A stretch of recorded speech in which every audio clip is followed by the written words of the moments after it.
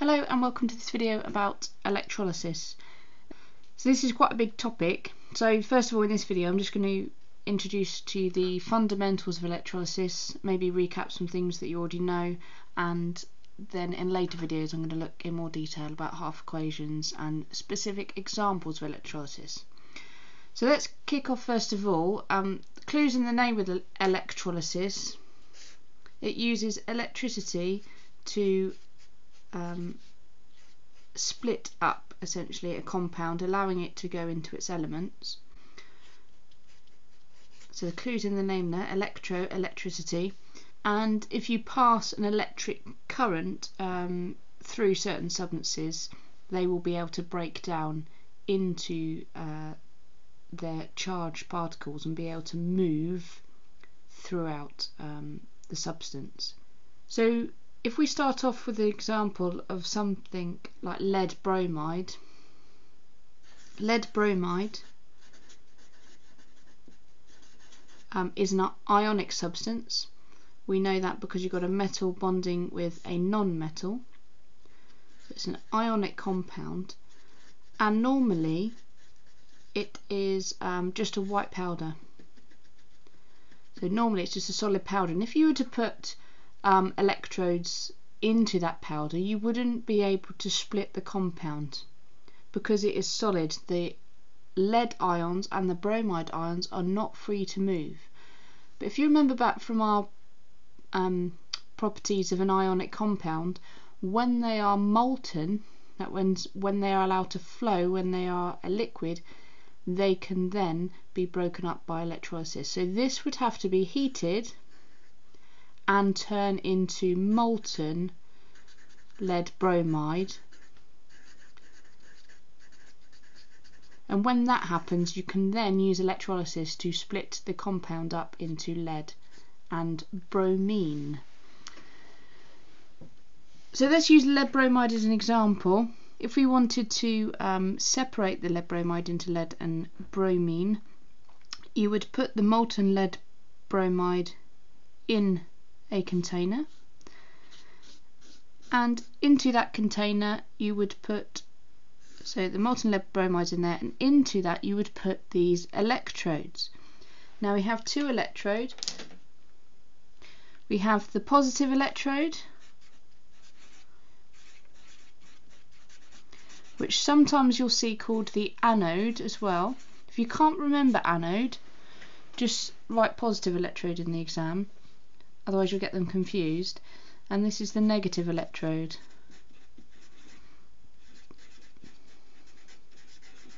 Which is also called the cathode. But again if you can't remember those words I really just recommend you using the words positive and negative. Otherwise you might lose some silly marks trying to guess those extra words. The actual liquid that you put in the bottom here that's being broken up is called the electrolyte so this molten lead bromide in this case is the electrolyte. And when a current is passed through the electrolyte, through these electrodes, so these would be connected to um, a power pack. So for example up here you'd have some sort of power connecting to your electrodes allowing a current to flow. In this electrolyte here you then have your lead ions and your bromide ions starting to separate. So you'd have um, Pb2 plus ions. Remembering metal ions always make um, positive ions and then you'd have your um, bromide ions. Remember when it's an ion you say it's ide, so bromide ions, which would Br minus. And they would be in solution now. And when you pass a current through, those ions are free to move. So when it was a powder, the ions are not free to move, so we can't separate it. But now it's molten, those ions are free to move. And the movement of charged particles is a current. So that allows the current to flow and complete the circuit.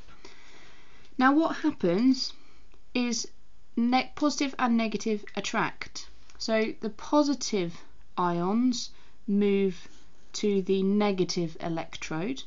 So you'll find all the lead ions collecting at the negative electrode and the negative ions will collect at the positive electrode and you can see there how this um, molten electrolyte will then start to split up into the elements lead and bromine. Now when they get to the electrode the ions have to either lose or gain electrons. So if you are um, a Pb2 plus ion you would have to gain electrons. So the lead ions have to gain electrons at the negative electrode and the bromide ions would have to give away electrons or lose electrons to become bromine.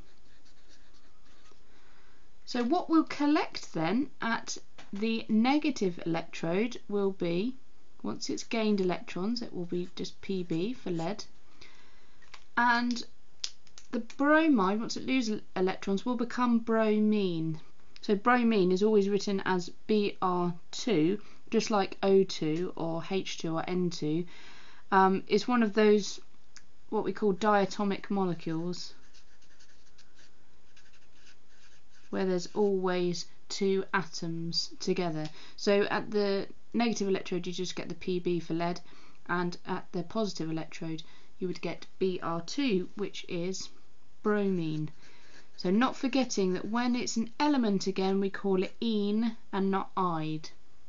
Whereas over here when it was an ion we called it bromide. So when these um, ions are losing and gaining electrons there's a couple of key words that we need to know and that is the words oxidation and reduction. So to remember these, if you remember the word oil rig,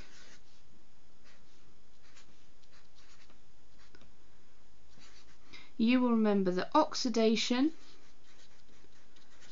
is losing and reduction is gaining.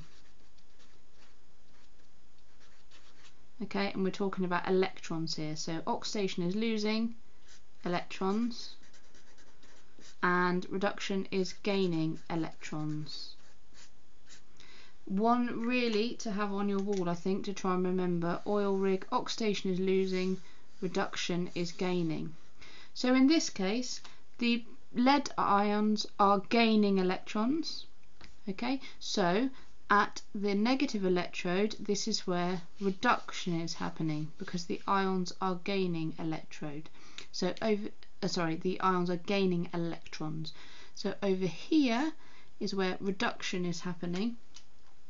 So reduction is happening at the negative electrode. And on the positive electrode you've got the bromine ions which are losing electrons and therefore this is where oxidation is occurring. So that's the basis of electrolysis. The um, substance is here. The electrolyte has to be in solution or molten. Okay, so or heated up and turned into a liquid. And you need to remember then that positive ions are attracted to the negative electrode. And this is where reduction happens, where they gain electrons. Negative ions are attracted to the positive electrode and this is where oxidation happens where they lose electrons and then they are um, released as their elements or collected at the electrode. So the, le the lead will just stick to the electrode here, the bromine um, gas will be collected off. So if you found this video on electrolysis useful then please like the video below and subscribe and join me in my next videos about electrolysis where I go into a little bit more detail.